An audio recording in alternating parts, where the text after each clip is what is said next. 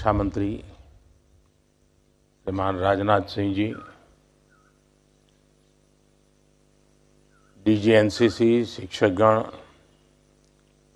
अतिथिगण, मेरे मंत्रिपरिषद के सभी अन्य साथी, अन्य अतिथिगण, गणतंत्र दिवस की परेड में शामिल हो रहे विभिन्न आर्टिस्ट एनसीसी और एनएसएस के मेरे युवा साथियों, मैं देख रहा था आज पहली बार नेताजी की वेशभूषा में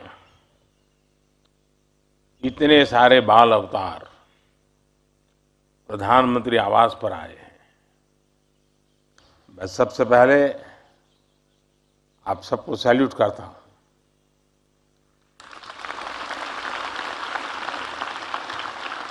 जय हिंद का मंत्र हर बार हमें प्रेरणा देता है। साथियों, बीते कुछ हफ्तों में युवा साथियों से मुझे बार बार मिलने का अवसर मिला। महीना भर पहले हमने वीर बाल दिवस मनाया। हमें वीर साहबजादों के शौर्य और बलिदान को नमन करने का अवसर मिला। उसके बाद कर्नाटका में नेशनल यूथ फेस्टिवल में शामिल हुआ। उसके दो दिन बाद देश के युवा अग्निवीरों से बातचीत हुई। फिर यूपी में खेल महाकुंभ के एक कार्यक्रम में युवा खिलाड़ियों से संवाद हुआ। और इसके बाद मुझे आज संसद में और फिर प्रधानमंत्री निवास पर नो योर लीडर कार्यक्रम में शामिल देश भर के विद्यार्थियों से मिलने का अवसर मिला। कल ही राष्ट्रीय बाल पुरस्कार जीतने वाले देश के होनहार बच्चों से मुलाकात हुई। आज आप सबसे इस विशेष कार्यक्रम में मुलाकात हो रही है। कुछ ही दिन बाद मैं परीक्षा पे चर्चा, इसके माध्यम से देश भर के लाखों युवाओं, विद्यार्थियों के साथ संवाद करने वाला हूँ। हर वर्ष की भांति इस बार भी एनसीसी के कार्यक्रम का हिस्सा बनने का अवसर मुझे मिलने वाला है। साथियों ये युवा संवाद दो कारणों से मेरे लिए विशेष महत्व का होता है। एक तो इसलिए क्योंकि युवाओं में ऊर्जा होती है, ताजगी होती है, जोश होता है, जुनून होता है, नयापन होता है। आपके माध्यम से सारी सकारात्मकता मुझे निरंतर प्रेरित करती रहती हैं दिन रात मेहनत करने के लिए प्रोत्साहित करती हैं। दूसरा, आप सभी आज़ादी के इस अमृत काल में देश की आकांक्षा, देश के सपनों का प्रतिनिधित्व करते हैं। विकसित भारत के सबसे बड़े लाभार्थी भी आप होने वाले हैं। और इसके निर्माण की सबसे बड़ी ज़िम्मेदारी भी आपके कंधों पर है। जिस प्रकार अलग अलग कार्यक्रमों में युवाओं की भागीदारी बढ़ रही है, वो उत्साहित करने वाली है। पराक्रम दिवस पर एक बड़े संदेश के साथ आयोजित प्रतियोगिताओं में आप जैसे बच्चों की भागीदारी इसी का एक उदाहरण है। ऐसे कितने ही आयोजन, अमृत महोत्सव से जुड़े कार्यक्रम और प्रतियोगिताएँ देश में लगातार हो रही है। लाखों करोड़ों युवा इनसे जुड़ रहे हैं।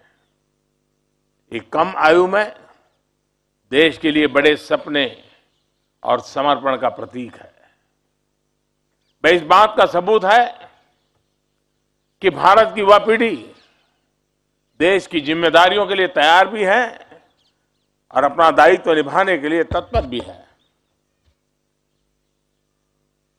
मैं इन कविता, ड्राइंग, ड्रेसिंग और ऐसे राइटिंग की इन प्रतियोगिताओं में जीतने वाले सभी युवकों को भी बहुत बहुत बधाई देता हूँ।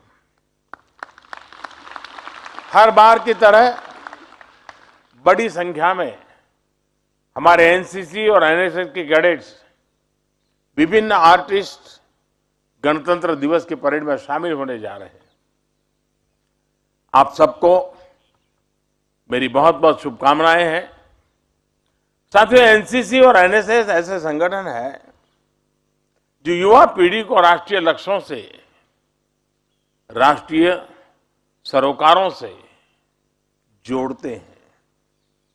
कोरोना काल में किस प्रकार एनसीसी और एनएसएस के वॉलेंटियर्स ने देश के सामर्थ्य को बढ़ाया, ये पूरे देश ने अनुभव किया है। इसलिए सरकार का भी ये निरंतर प्रयास रहा है कि इन संगठनों को प्रोत्साहित किया जाए, इनका विस्तार किया जाए।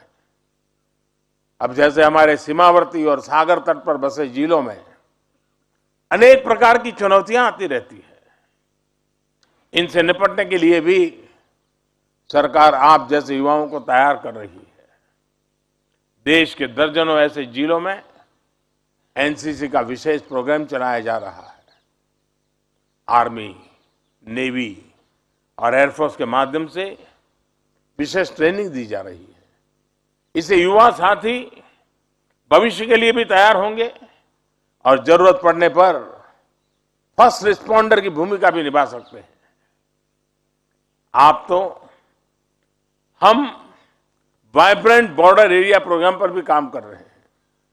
इसके तहत बॉर्डर के गाँवों का विकास किया जा रहा है। वहाँ हर प्रकार की सुविधाएँ विकसित की जा रही है।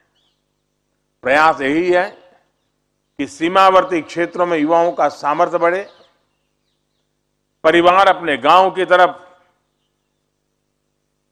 रहना पसंद करें, वहीं शिक्षा और रोज़गार के बेहतर अवसर बने। साथियों, सरकार के इन प्रयासों के बीच आपको अपने जीवन में एक बात ज़रूर काम आएगी। आप जब जीवन के कुछ बेहतर करते हैं, कोई सफलता हासिल करते हैं तो उसके पीछे आपके साथ साथ आपके माता पिता आपके परिवार की भी बहुत बड़ी भूमिका होती। है उसमें आपके टीचर्स की स्कूल की और आपके दोस्तों की भी बड़ी भूमिका होती है। यानी आपको सबका साथ मिल उस वही प्रगति का कारण होता है। सबने आपकी क्षमता और फैसलों पर विश्वास किया होगा। सब आपके प्रयास में शामिल हुए होंगे।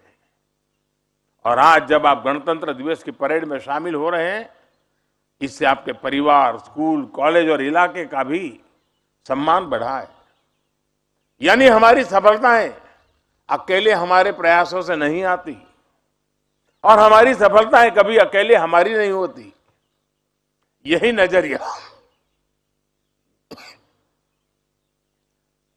आपको, आपके जीवन में समाज और देश को लेकर भी रखना है। जिस भी क्षेत्र में आपकी रुचि होगी, आपको उसमें आगे बढ़ना है। लेकिन लक्ष्य तय पहुँचने के लिए आपको बहुत सारे लोगों को अपने साथ लेना होगा। आपको टीम स्पिरिट से काम करना होगा। इसलिए जब आप अपने लक्ष्यों को, अपने गोल्स को देश के गोल्स के साथ जोड़कर देखेंगे तो आपकी सफलता का दायरा विस्तृत हो जाएगा। आपकी सफलता को दुनिया भारत की सफलता के रूप में देखेगी। डॉक्टर एपीजे अब्दुल कलाम, होमी जहांगीर बाबा और डॉक्टर सीवी रमन जैसे वैज्ञानिक हो, या फिर मेजर ध्यानचंद से लेकर आज के बड़े खिलाड़ियों तक, इन्होंने अपने जीवन में जो काम किए, जो मुकाम हासिल किए पूरा विश्व उन्हें भारत की सफलता के रूप में देखता है। और उससे भी आगे, दुनिया भारत की इन सफलताओं में अपने लिए नए भविष्य को देखती है। यानी ऐतिहासिक सफलताएँ वो होती हैं जो पूरी मानवता के विकास की सीढ़ियाँ बन जाए। यही सबका प्रयास की भावना की असली ताकत है। साथियों, आज आप जिस कालखंड में हैं उसकी और एक विशेष बात है। आज देश में युवाओं के जितने नए अवसर हैं, वो अभूतपूर्व है। आज देश startup India, make in India और आत्मनिर्भर भारत जैसे अभियान चला रहा है। स्पेस सेक्टर से लेकर एनवायरमेंट और क्लाइमेट से लेकर उससे साथ जुड़ी हुई चैलेंजेस तक भारत आज पूरी दुनिया के भविष्य के लिए काम कर रहा है। आर्टिफिशियल इंटेलिजेंस मशीन लर्निंग और वर्चुअल रियलिटी जैसी फ्यूचरिस्टिक फील्ड्स में देश फोरफ्रंट पर है। स्पोर्ट्स और क्रिएटिविटी के लिए देश एक अच्छा इकोसिस्टम तैयार कर चुका है। आपको इसका हिस्सा बनना है। आपको और आपका अनसीन पॉसिबिलिटीज को सर्च करना है। अनटच एरिया को एक्सप्लोर करना है। और अनइमेजिन सॉल्यूशंस को खोजना है। साथियों, भविष्य के बड़े लक्ष्य और बड़े संकल्प, ये हमारे लिए बेहद ज़रूरी है। लेकिन साथ ही, हमें वर्तमान की छोटी बड़ी प्राथमिकताओं को भी उतना ही महत्व देना होगा। इसलिए मेरा आप सभी से आग्रह होगा क्या देश में हो रहे इस हर बदलाव से परिचित रहे?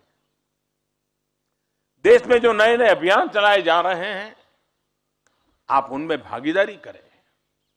स्वच्छ भारत अभियान का उदाहरण हमारे सामने है। आप युवाओं को इसे अपने जीवन का मिशन बनाना चाहिए। आपके पास क्रिएटिविटी भी है और जोश भी है। आप संकल्प ले सकते हैं। हम हमारे दोस्तों की एक टीम बनाकर अपने मोहल्ले को, अपने गाँव, शहर, कस्बे को स्वच्छ बनाने के लिए निरंतर काम करते रहेंगे। जब आप स्वच्छता के लिए बाहर निकलेंगे तो बड़े लोगों पर उसका ज़्यादा प्रभाव पड़ेगा। इसी तरह अमृत महोत्सव में आप स्वतंत्रता सेनानियों से जुड़ी कम से कम एक किताब पढ़ने का संकल्प ज़रूर लीजिए। आप में से कई लोग कविता और कहानी लिखेंगे, ब्लॉगिंग करने जैसे कामों में भी इंटरेस्ट रखते होंगे। आज़ादी की लड़ाई और किसी स्वाधीनता सेनानी के जीवन पर ऐसा कोई क्रिएटिव काम करिए। आप अपने स्कूल को भी इस विषय पर कार्यक्रम और प्रतियोगिता कराने के लिए कह सकते हैं। आप सबके जिलों में 75 अमृत सरोवर भी बनाए जा रहे हैं। आप अपने पड़ोस के अमृत सरोवर में अपने दोस्तों के साथ मिलकर बहुत योगदान दे सकते हैं। जैसे कि अमृत सरोवर के पास वृक्षारोपण कर सकते हैं। उसके रख रखाव के लिए लोगों को जागरूक करने के लिए कोई रैली निकाल सकते हैं। देश में चल रहे फिट इंडिया मूवमेंट के बारे में भी आपने ज़रूर सुना होगा। युवाओं के लिए तो बहुत आकर्षित करने वाला अभियान है। आप खुद तो इससे जुड़े ही साथ ही अपने घर वालों को भी ज़रूर जोड़े। आपके घर में रोज सुबह थोड़ी देर सब लोग मिलकर योग करें। आप ये संस्कृति घर में शुरू कर सकते हैं। आपने सुना होगा, इस साल हमारा भारत जी ट्वेंटी की अध्यक्षता भी कर रहा है। ये भारत के लिए एक बड़ा अवसर है। आप इसके बारे में भी ज़रूर पढ़ें। स्कूल, कॉलेज में भी इससे जुड़ी चर्चा करें। साथियों, इस समय देश अपनी विरासत पर गर्व और गुलामी की मानसिकता से मुक्ति के संकल्प लेकर आगे बढ़ रहा है।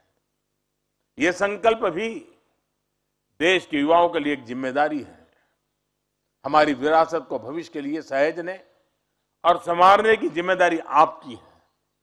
ये काम आप तब कर पाएँगे जब आप देश की विरासत को जानेंगे, समझेंगे। मेरा सुझाव है कि आप जब घूमने जाएँ तो हेरिटेज साइट पर भी ज़रूर जाएँ। उन्हें देखें, जाने। आप युवा है। आपके लिए भविष्य के विजन के निर्माण का समय है। आप नए विचारों का, नए मानदंडों के निर्माता है। आप नए भारत के लिए नए रास्ते बनाने वाले लोग हैं। मुझे विश्वास है आप हमेशा की तरह देश की अपेक्षाओं और देश की आकांक्षाओं पर खरा उतरेंगे। आप सभी को एक बार फिर बहुत बहुत शुभकामनाएँ। धन्यवाद।